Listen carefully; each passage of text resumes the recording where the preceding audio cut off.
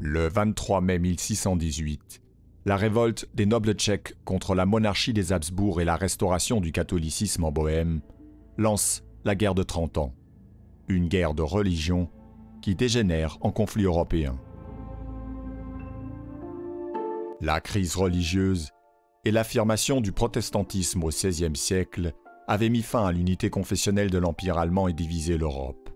La paix d'Augsbourg a fait cesser les guerres de religion en concédant la liberté religieuse aux principautés, mais la volonté de l'empereur de revenir sur ses concessions et d'imposer le catholicisme à l'ensemble du Saint-Empire au début du XVIIe siècle ravive les tensions.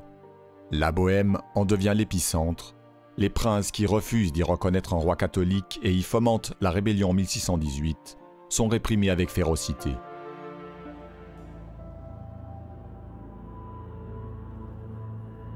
L'intervention du Danemark en réaction aux avancées des Habsbourg et en soutien des protestants étend le conflit. Mais les Danois sont défaits par les armées catholiques. Le roi de Suède, appuyé par la France du cardinal Richelieu, s'engage alors à son tour en Allemagne au début des années 1630. La guerre religieuse, qui se superpose à la guerre d'indépendance des Pays-Bas contre l'Empire espagnol, se transforme en conflit entre puissances à partir de 1635 la France catholique entre ouvertement dans la guerre aux côtés des protestants pour s'opposer aux ambitions de l'Espagne des Habsbourg.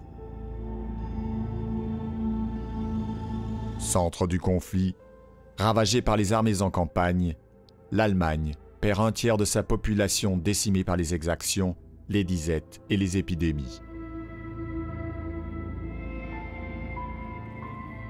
En 1648, après quatre années de négociations, la paix de Westphalie met fin aux hostilités, l'Europe est reconfigurée, la France devient la première puissance continentale, les Pays-Bas et la Suisse obtiennent leur indépendance. Les traités signés annoncent un nouvel ordre international et l'émergence des États européens modernes, l'absolutisme, triomphe du féodalisme, les guerres sont désormais conçues comme des conflits sécularisés entre États souverains.